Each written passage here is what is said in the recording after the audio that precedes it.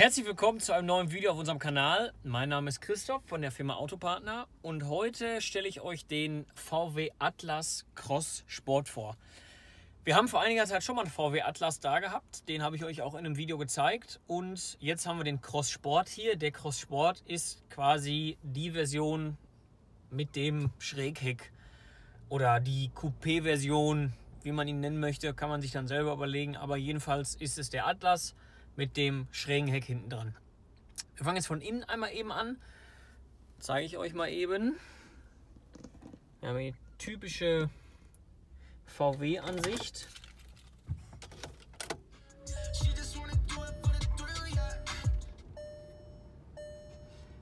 Ist natürlich ein Amerikaner, deswegen haben wir hier die beiden Doppelanzeigen im Tacho wieder.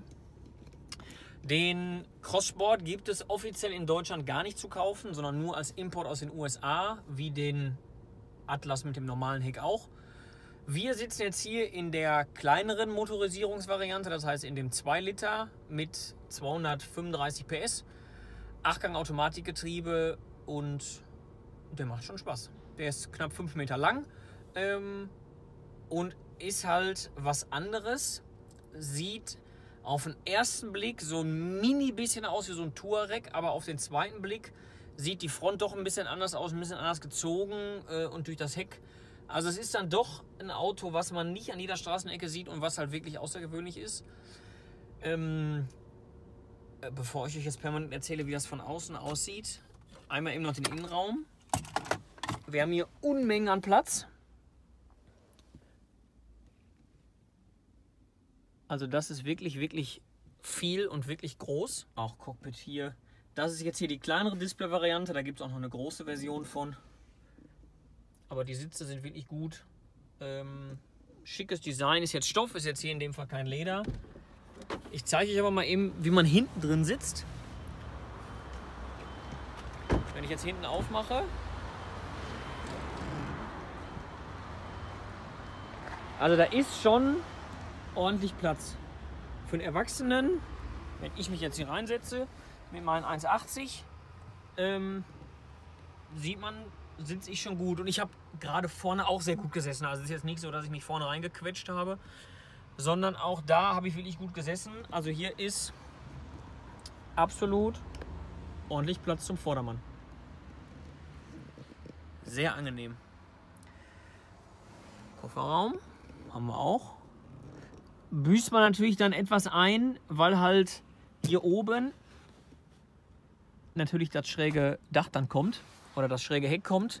Wir haben da keine große ähm, Heckklappe mehr, wie wir es vorher hatten. So, von außen. So sieht er aus mit dem Schrägheck.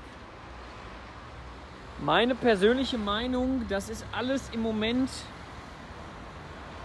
diese Mode, oder was heißt diese Mode, aber diese Phase von allen Autos gibt es im Moment irgendwie eine Coupé-Version oder eine Version mit dem Schrägheck. Ähm, ob das jetzt ein VW Atlas Crosssport ist, ob das ein Lamborghini Urus ist, ein Cayenne Coupé ist. Ähm, also im Moment kommen viele SUVs mit dieser Schrägheck-Variante. Die haben alle, finde ich, optisch auch so ein bisschen was ähnliches. Aber die Front ist halt modern, frisch.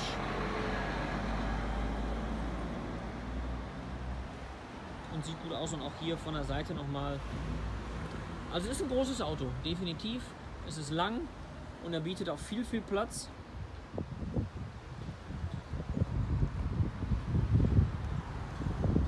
Äh, Rückfahrkamera haben wir auch dran, Kofferraum. Wenn wir eine aufmachen, ist trotzdem groß. Also es ist immer noch viel, viel Platz da drin. Das ist verdammt tief. Ähm, haben überall noch so kleine Seitenablagen. Also es ist alles in allem ein wirklich großes, großes Auto. Was ich immer sehr cool finde, ähm, und es ist auch mal was Außergewöhnliches. Man sieht ihn nicht an jeder Ecke. Wir haben den Crosssport noch nie gehabt bei uns ist im Moment der erste und ich vermute aufgrund der aktuellen Corona-Beschaffungsmöglichkeiten in Amerika auch vorerst der letzte, den wir davon kriegen. Ähm, also ist erst da. und ist halt außergewöhnlich und cool. Bei dem 200 PS Motor, ach bei dem 200 PS Motor, bei dem 2 Liter Motor mit den 235 PS kann man sich jetzt überlegen, ist das genug oder ist das nicht genug für so ein Auto? Ähm, die Alternative zum 2 Liter wäre der 3,6 Liter V6. Den hatten wir in dem letzten Atlas, der war auch gut. Ähm, jetzt haben wir einen 2 Liter. Kann man nur testen und ausprobieren. Ähm, ich finde, er ist spritzig und kommt gut aus Pötte, wie man das immer so schön sagt. Also ich finde, es ist ein gutes, gelungenes Auto und ist mal eine Alternative. Und hält sich halt natürlich preislich auch in einem Rahmen, ähm, der vielleicht noch bezahlbar ist. Weil wenn ich mir jetzt andere Autos angucke, ähm, in ähnlichen Größenordnungen, da steigen wir ja in Preishemisphären auf, die sind ja nochmal eine ganze Ecke weiter weg von dem Preis, äh, den wir hier haben. Also der kostet, müssen wir eben schauen, knappe 38.000, 39.000 Euro. Und dafür kriegt ihr ein 2020er Auto ähm, in einem Bombenzustand, den auch einfach kein anderer hat. Deswegen Link vom Auto setze ich euch unten in die Beschreibung. Und wenn ihr Fragen dazu habt oder eine Probefahrt machen möchtet oder, oder, oder, dann kontaktiert mich gerne. Keine falsche Schüchternheit.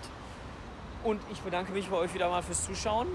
Bleibt gesund, lasst mir gerne ein Like oder ein Abo da. Danke, bis zum nächsten Mal.